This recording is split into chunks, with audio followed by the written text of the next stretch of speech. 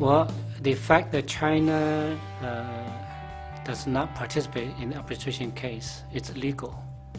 It is entirely legal. It's deliberately trying to create um, problems. 任何一个国家如果遇到类似的情况，都不会接受，都不会参与他这场非法的国际仲裁。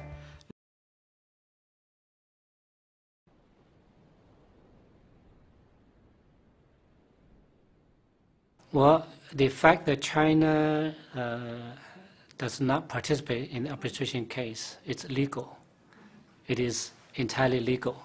International laws and even the United Nations uh, Convention uh, on the Law of the Sea allows countries not to participate.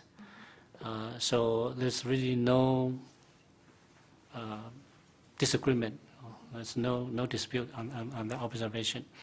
呃，从菲律宾提请仲裁到仲裁庭决定管辖和裁决本案，我认为其错误之处主要在于：一是涉及到无权管辖的事项；二是针对着无权管辖的对象。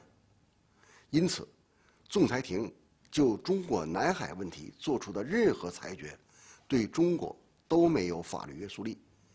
也不会产生任何实质性的法律后果，只会沦为政治闹剧和舆论喧嚣，在一定程度上，极大的浪费国际司法资源，损害国际司法威信。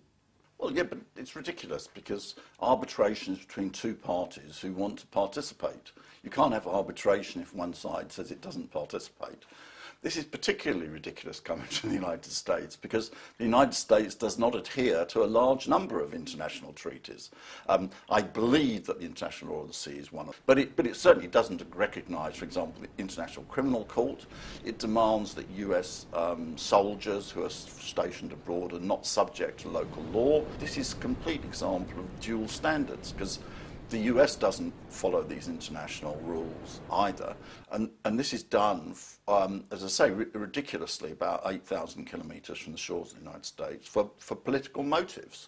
It's, it's deliberately trying to create um, problems. That 呃，根据联合国海洋法公约的规定啊，这个仲裁庭对菲律宾提起的仲裁案是没有管辖权的。公约第二百九十八条的规定，呃，缔约国可以书面声明 对于海洋划界、军事活动、历史性海湾所有权等方面的争端，不接受一种或者是一种以上的强制程序。咱们国家呢，早在二零零六年就提交了这样的声明，明确表示对于上面所讲的这些争端，排除适用强制程序。首先呢，我们说我们中国之于南海啊，我认为有三重身份。第一重身份呢，我们是南海诸岛的主权国；第二重身份呢，我们是一个负责任的大国；第三个身份呢，就是我们是南海最大的沿岸国。那么三重身份的交织，就决定了我们中国一方面要坚决的去维护我们的海洋权益，另一方面呢，我们还要这个兼顾地区的和平和稳定，要维护南海航道的航行自由、航行安全，维护国际法的尊严。我们说呢。即使是根据联合国海洋法公约当中相关的规定，一个非常重要的精神叫做以陆定海，在这个南海诸岛而言呢，就是以岛控海。我们对南海相应的权利，包括主权、主权权利、管辖权和其他一切的海洋权益，均源自于我们中国之于南海诸岛的主权。所以呢，这是体现了我们以陆定海的原则。